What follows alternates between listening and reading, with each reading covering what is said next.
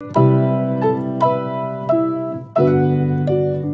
I'm Gigi. I just finished a shoot with Pink and Black, Boudoir, um, Keyan.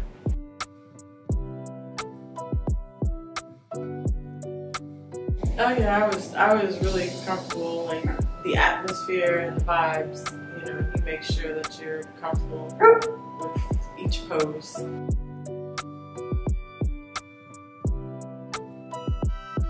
Um, before the shoot, um, I was nervous and kind of like overthinking it um, a lot because you know we all have our like insecurities and things. Um, but after the shoot, you know, um, I feel like they're gonna come out really great, and um, you know, he listened to what I felt about my body, so it made it even better.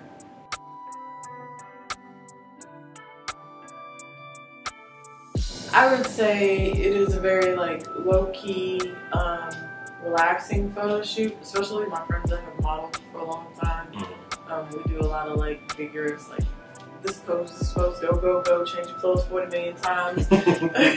but this one was like you kind of got to be yourself. So